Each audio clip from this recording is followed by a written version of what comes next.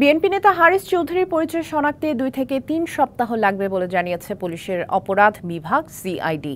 দুপুরে তার মেয়ে ব্যারিস্টার সামিরা চৌধুরীর ডিএনএ নমুনা নেওয়ার পর এ কথা জানানো হয়। এ সময় সামিরা চৌধুরী জানান, তার বাবাকে অন্য নামে দাফন করেননি তারা। যে মাদ্রাসায় দাফন করা হয়েছিল, সে কর্তৃপক্ষের কাছে পরিচয় দিয়েই দাফন করা হয়েছে।